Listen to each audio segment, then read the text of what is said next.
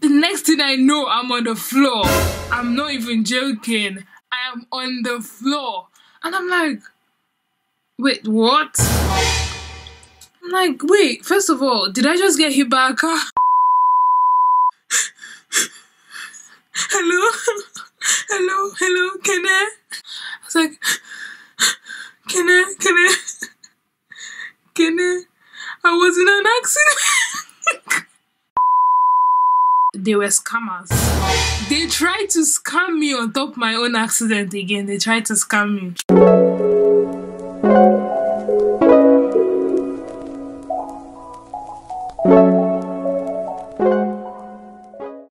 Hi guys, welcome back to my YouTube channel. It's Izzy here. How are you feeling today? How are you doing?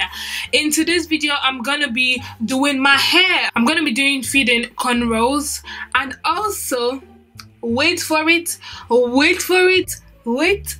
I'm gonna be doing a story time. Yes. So if you're interested, please keep on watching. And also, if you are new to my channel, welcome. If this is your first time seeing my video, oh, you're welcome to my channel. Don't forget to subscribe and also turn on the notification bell so you'll be notified when I post a new video. And most importantly, make sure to smash the like button. Okay, so let's get right into the video. I'm just gonna divide my hair into how many sections I want it to be. An eternity later. Alright, so I have gotten the middle pattern done. Um, to be honest, I think I did a, quite a good job.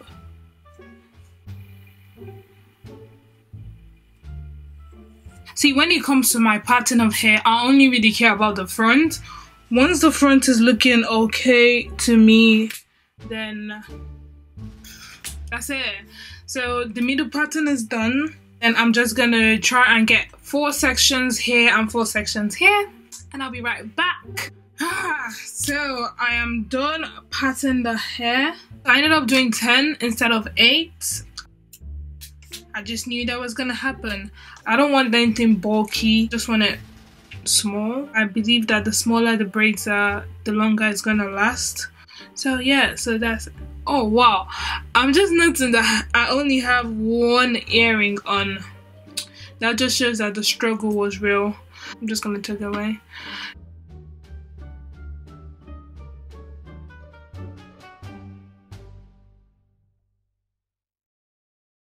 Now let's begin.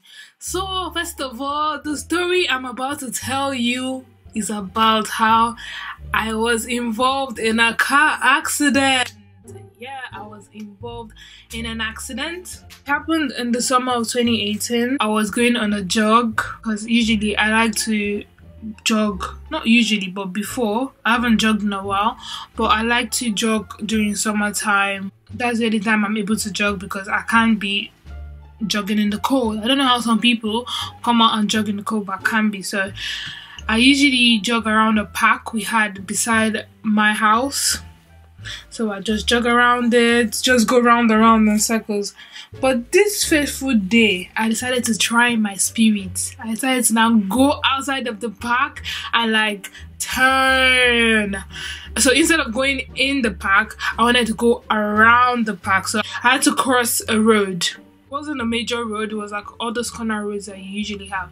So I had to cross one of those. Guys, wait first, did I mention that this hair might not turn out how we expecting it to turn out? It might turn out good, it might turn out bad, but we just have to see. So obviously now I'm jogging. I don't know about you, but whenever I jog, I would like to listen to music on the highest volume. So music was blasting in my ear. I didn't mind. I didn't send anybody. I wasn't hearing anything. Only the music. So uh, I tried to cross the road.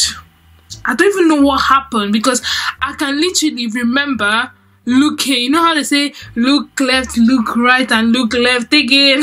I literally did that. I always do that. But I don't know what happened the next thing I know, I'm on the floor. I'm not even joking. I am on the floor. And I'm like, Wait, what? I'm on the floor and I look up and there's a car there. I'm like, wait, first of all, did I just get hit by a car? so obviously, the car hit me and I fell to the floor. It was a lady and a guy. I think it was a couple or I don't know. They were together, Sha. And I think they had a child in the car in the back seat. So yeah.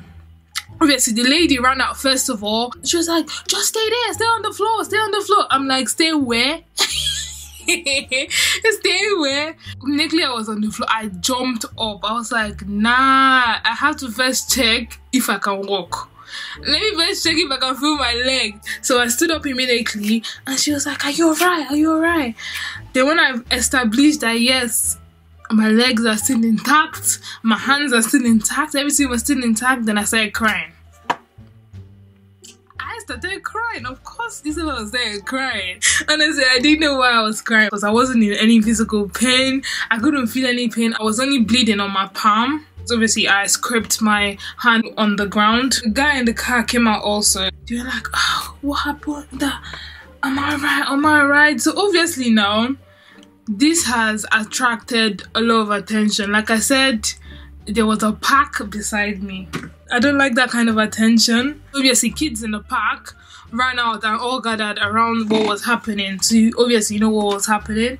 And I was literally just standing there. So the lady took me. I was like, oh, I should come and sit down on the curb. I went to have a sit down. I was sitting there and I was crying. I was literally crying. So she was talking to I wasn't even listening to her because that one is story. I brought out my phone and I called my brother. I called my brother. I was like, hello, hello, hello, Kene. Kene is my brother. Kene Chiku. I was like, Kene, Kene, Kene. I was in an accident. I, I was like, I was in an accident he was confused. Uh, maybe he was sleeping. I don't know. Poor boy, he was probably sleeping, and he woke up to my call telling him I was in an accident. Obviously, he was like, "Where are you? Where are you?" I could hear the panic in his voice. So I told him where I was and everything. So he was like, okay, okay, I'm coming, I'm coming. They called an ambulance and we are waiting for the ambulance now. The next thing I just saw my brother, he was he was literally running. I was like, oh, bless him. So he actually cares. You see, this is when you know that people actually care for you. And he was literally running full speed across the field. Do you know what? My brain was telling me to laugh, but my face was crying. Stop it. Get some help it was just a very it was just a very very funny and unfortunate situation. So he ran and he got here. He was nervous he was asking me am i okay? He was asking me what happened and stuff. And i told him what happened. A few minutes later i think a cop car we're just doing the regular patrol and they saw what happened and they came and obviously they parked their car to come and see what's up I explained what happened. Obviously, the cops, what am I calling them cops? The police people, the policemen, it was two policemen. And so obviously they took down my number and they were there when the ambulance finally came. The ambulance came like five minutes later.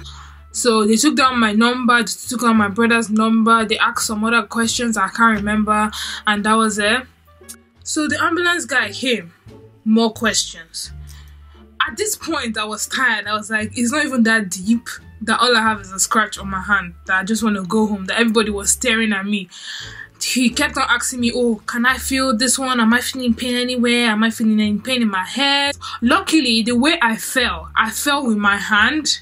So I used my hand to support myself. Thank God I didn't fall on my head. If not, if not, actually only my arm that was hurting. At this point, I still couldn't believe that Isabel actually got hit by a car. I was still in disbelief, in shock. the ambulance still took down some information, they were writing it down. So obviously, he cleaned the wound, he dressed it, he spoke to the couple. I don't know what he spoke to them about, and that was it. He left. So obviously, I'm walking back to my house now, and everybody's literally looking at me like I have a big post on my forehead saying, Oh, look at Isabel. So that is how the accident happened. To be honest, guys, I was very, very lucky. Not many people get hit by a car and are actually still around to tell the story.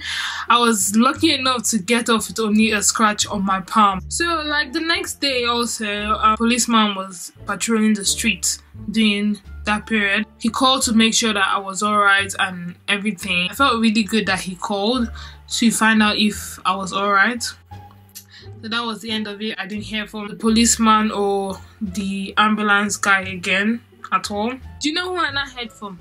insurance people. Yeah, I put insurance in quotes because they were scammers. They tried to scam me on top of my own accident again. They tried to scam me. So like a few a few months later, I got a call and when I picked up the call, obviously, there was a lady that was saying, oh, I heard you've been involved in a car accident that wasn't your fault. Is that true?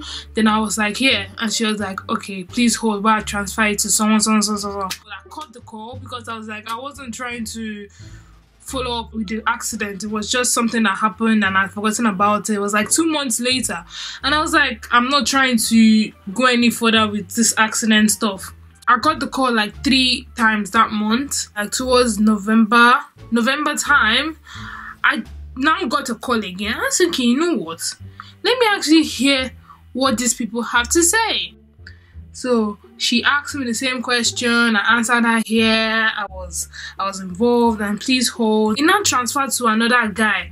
So obviously this guy, I could tell from his accent that he wasn't British. He had like an Indian accent, and I was like, okay, this is getting too far now. I think I need to end this call. So I ended the call again. December, they called again. The same Indian guy. I don't know if he's Indian, but what I think he is. So he was like, What happened? He said, asking me when this accident happened. I told him when it happened and stuff. Then he now told me that he works with an insurance company. I'm eligible for some kind of money that since the accident wasn't my fault, that and stuff like that. So he tried to get some information off me. Said asking me my name, um, my date of birth, where I lived, all this information, name, date of birth, information that I give to clothing websites and stuff on a regular. So he wasn't yet crossing any boundaries. And he asked me for my NI number. And I was like, sorry, why are you asking me for my NI number? Um that one is crossing too far. And I asked him again, I was like, what company do you say you work with? Then he said, what was it again? I think it was Suncoast or Sunny Coast Insurance Company, something like that. Then he asked me for my NI number. I was like, mm, I'm not gonna give you that. That I need to first do my research. So I ended the call. Then he called again a few days later. In their mind, they already felt like, oh, we've caught this one, we've hit jackpot. This one, she believes that we're actually insurance company. Let's start following her up. So they called the next day again since I didn't want to give him my NI number, he asked me for another number. There was a number that they gave me, like a record number the ambulance guy gave me. I've forgotten what the number is called, but there was a number they gave me and they were asking me for the number. I was like, obviously, I don't remember the number because, like I said, I'd already forgotten about the accident. But I was like, oh, I have to call them to find out the number. So he now gave me another number that I should call this number, and this number would transfer me to the ambulance people. So I called this number. It was a very weird number, like something like one zero zero zero zero one, something like that. So I called this number. Obviously, it wasn't going through because the number didn't exist. An hour later, the guy called again, and I told him that I called the number, and it wasn't going through. And I told him that see that I don't trust this company. That I need time I want to do my research. That what was his name? I wrote it down. Your company's name is also I wrote it down. I was like, okay, I need to do my research before I give you any other information that I don't trust you. And this guy, my guy, literally started shouting at me over the phone. I was like, ah! I was like, hold up, hold up, hold up, hold up, hold up, hold up. I was like, why are you shouting that kind of stuff? He was like, that that he's trying to help me, that he just needs some information and stuff, that what is there not to trust, that I've given you this number and I've told you to call, I've given you the name of my company and I've told you to I was like, I can't just be giving you my NI number to any random person that I don't know you, I've never met you before. And bear in mind, we're having this conversation, the background is so noisy. I was like, bruv, like, what is this guy? Like, why is it so noisy? Obviously, if you were in an office, in a company, it won't be noisy like that. And I was literally hearing people shouting in the background and stuff. I was like, okay. I was like, okay, he should call back tomorrow when I've done my research and stuff. So I went, I did my research, I typed in the company name, and this company wasn't even in the UK. Eh. they left America. Then the to come and find out the accident that happened to Isabel Okeke in the UK. Tell me how. Tell me how that that happened. I don't know. I was like, okay, so the company is actually legit. So I now typed in again, and I'm putting um Sun Suncoast Insurance Company scam. That that was now when I hit the jackpot, and I saw a lot of people that were putting reviews of the exact same number that was calling me. I sorry guys, my camera died. As you can see, I've done this part. It's just this part left to do. We're almost done. So, so saying, so the number that called, the, the lady that was speaking at first was a recorded message and I was like, wow, I didn't even know that. So exactly, they were like, oh, that when they now transfer you to another guy, the people were saying that the guy was Indian and the guy doesn't even know how to speak English. When they want to give the guy the information he's asking for, he starts getting aggressive. I was like, wait, that that was the exact same thing that happened to me. So after this, after I've done everything, he now called the next day like he said he would and I picked up the phone and I told him, see, I just googled your company and first of all your company is not in the UK. So where are you actually calling from? He was like, didn't you see the location? I was like, yeah, I saw the location, but your company is not a UK company, so what are you saying? I'm like, from my research, I can see that you are not a legit person and you're trying to scam me. So I'm just gonna hang up now and advise you not to call this number again. In my mind, I was feeling like a bad G. Like I just gave it to them hot hot. I was like, I advise you not to call me and I hung up. Hey! I was like, Isabel just did that. Isabel gave it to them straight up. So apparently he didn't hear me. The next day he called again. so I blocked the number. And this was how he kept on calling me every day after that with different numbers. After I blocked that first one, different number he kept on calling me. I was like, this one is wasting his time. But yeah, guys, that was how I had an accident. And to be honest, I am very, very lucky and I thank God that I didn't have any serious injuries. I'm just gonna finish up the rest of my hair and I'll be back. I am back and I am done. This is the final look. This is the best one I've actually done and I'm proud of myself. So as you can see, I've done my edges also. I'm just gonna take some hair mousse.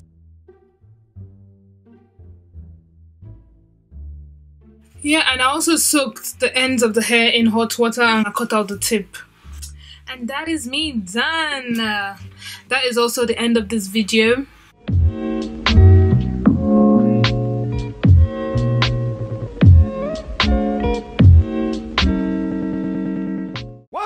Two, three, funky. My darling, I love you, I love you, I love you, I love you. I love you.